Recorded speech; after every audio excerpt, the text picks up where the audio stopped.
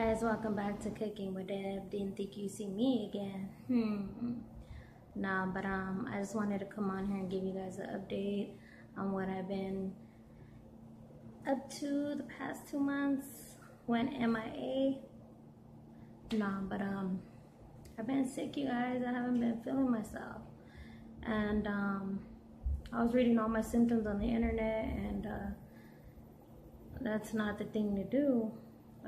Basically, it told me I had all these diseases and I was dying, and I was like, oh my God, I gotta do this, I gotta do that, I gotta do my bucket list. Like, dude, that's it, you know, and it's just scary. Like, everything online, don't believe what you hear. But, um, then my phone broke, so I don't have the best quality, but I'm gonna try to do my best for you guys. Um, I miss doing videos for you guys. I hope you guys miss watching them. Um, today I'm going to be showing you how I make my spaghetti. And spaghetti, why you ask? Everybody knows how to make spaghetti, right? But some people don't. So um, stay tuned, keep watching. Please like and share and subscribe. And uh, yeah, love you guys.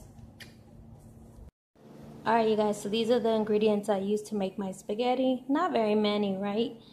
But um, the spaghetti, um, this is a pound. You can go by family size, which I have a large family, so usually I'll use two to three pounds of spaghetti. Um, some Parmesan cheese. Um, I got some ragu sauce. It's just meat flavor, but you can get any kind of sauce that you want.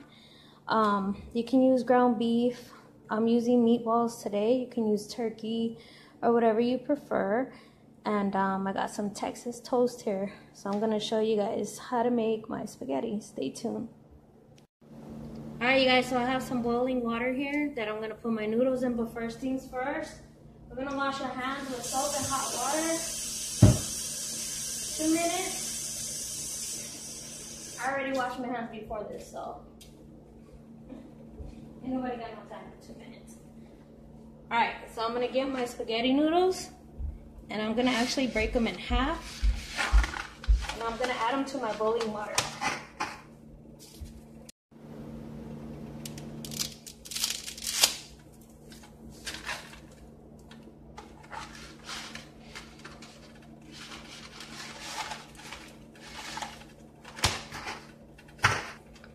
Alright you guys, so I was told to put a little bit of salt and a little splash of cooking oil. That way it don't stick together. And I'm gonna let this come to a boil. Alright you guys I'm gonna add my meatballs to the pan. I didn't add any oil because I don't want them to get greasy. I'm gonna add my sauce right away so it could come to a boil and the meatballs cooked with the sauce.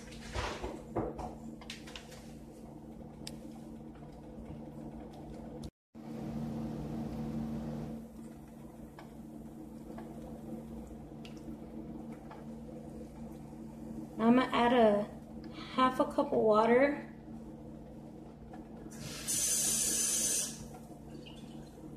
just to kind of get the rest of the spaghetti sauce out. And I'm gonna use two bottles for this.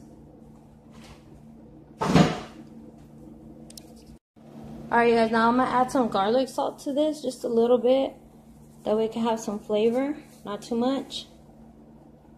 Now I'm going to let this come to a boil. You guys, and I spray my pan with some non-stick spray. Now I'm going to put my Texas toast on here.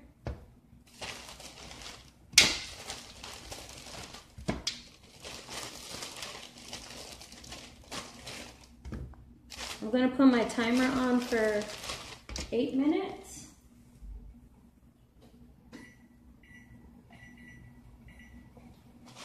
And I'm gonna put it in the oven for 425. Alright guys, so every so often you can check your noodles to see if they're soft. And if they are, then you can then strain your noodles. Be careful because it's really hot.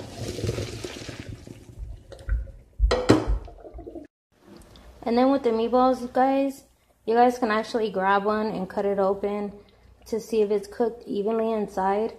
Because um, usually it cooks pretty fast with the sauce, but you never know, it could be cold in the middle.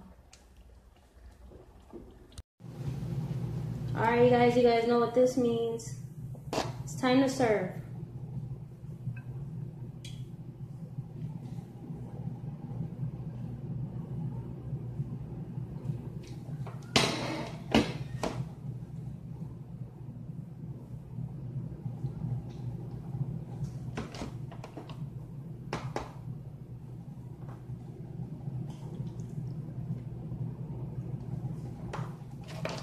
Garlic bread, some Parmesan. That, my friends, is how I make my spaghetti.